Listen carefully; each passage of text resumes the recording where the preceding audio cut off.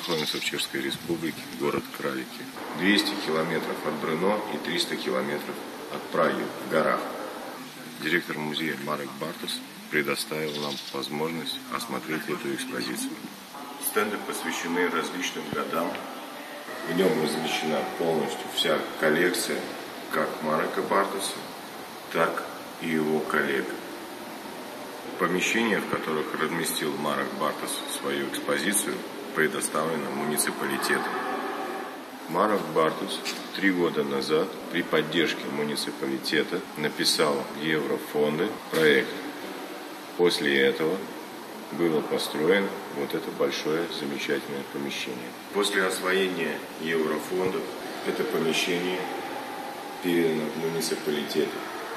Сейчас в этом музее работает 4 человека. Заработано за этот год 54 тысячи евро. Все деньги поступают в бюджет. Финансирование этого музея и его содержание осуществляется муниципалитетом. Очень интересный образец, э, произведенный в Чешской Республике, немецкого орудия 152 мм. Данный стенд посвящен Чехии до 1938 года. Униформы союзников Второй мировой войны. Различные образцы вооружения и техники, произведенные в Чешской Народной Республике после Второй мировой войны. Вооружение пехотинца, а также униформа немецкой армии Второй мировой войны. Реалии современной жизни современной чешской армии. Но не вся экспозиция находится только внутри помещения. Также часть экспозиции находится во дворе.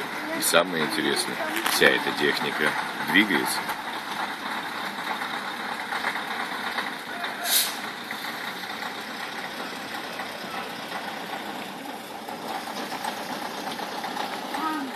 На территории музея техники дают вторую жизнь. Эта техника ждет своего часа. Она будет реконструирована и приведена в порядок в ближайшее время. Т-34 – известнейший советский танк, лучший танк Второй мировой войны. Этот танк не просто постамент, этот танк может еще и ездить.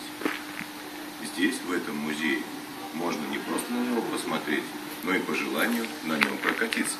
Военный музей предоставляет свою технику для реконструкторов.